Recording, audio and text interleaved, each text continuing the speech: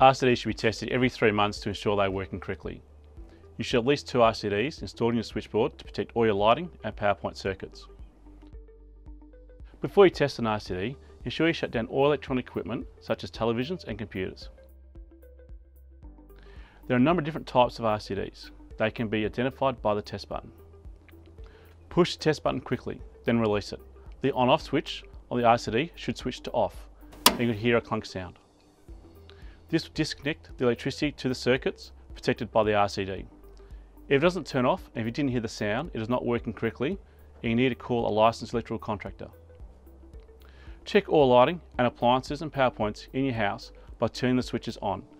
If any lights or power points work, a licensed electrical contractor needs to be contacted to correct the wiring. When finished, turn the RCDs back on by flickering the on-off switch to the on position. All your lights and power points should now be working. Remember to test all your RCDs again in three months. As a reminder, test at the start of every season or set a reminder in your calendar.